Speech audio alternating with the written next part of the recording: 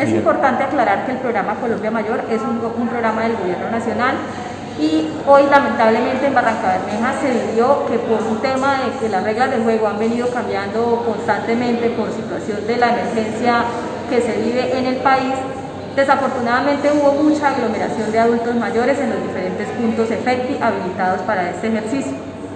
Es una situación que se debe mejorar a partir de hoy y para eso queremos hacer algunas recomendaciones y dar alguna información ya que hay comentarios y hay situaciones muy confusas para esta población. Lo primero que queremos informarle es que a partir de hoy, 25 de marzo hasta el 30 de mayo, se va a pagar la nómina de marzo, es decir, los adultos mayores van a poder cobrar 80 mil pesos correspondientes al mes de marzo.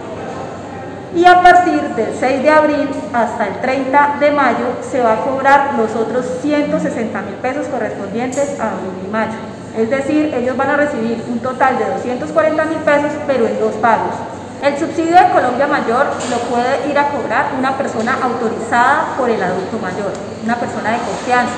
Esa persona puede acercarse al punto efecti y debe llevar un certificado o una autorización del adulto mayor para esa persona para permitir el cobro. Es importante informarle a los adultos mayores que ellos pueden autorizar a una persona de confianza para que haga el cobro.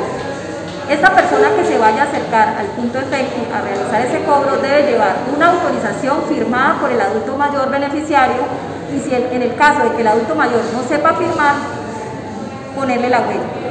Segundo, debe, llegar, llevar copia de la cédula del adulto mayor por las dos caras. Tercero, debe llevar la, la, cédula original del adulto mayor y debe llevar la cédula original de la persona autorizada para cobrar.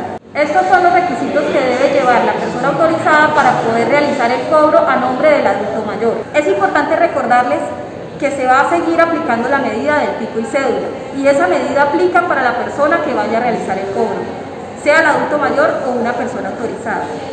Es muy importante que si el adulto mayor tiene a quien enviar a hacer ese cobro, lo haga, porque lo que necesitamos es que el adulto mayor no esté expuesto en la calle a ser contagiado de esta peligrosa enfermedad. También recomendamos que el adulto mayor o la persona que vaya a salir vaya con todas las medidas de protección y que por favor mantenga la distancia entre una persona y otra al momento de hacer la fila.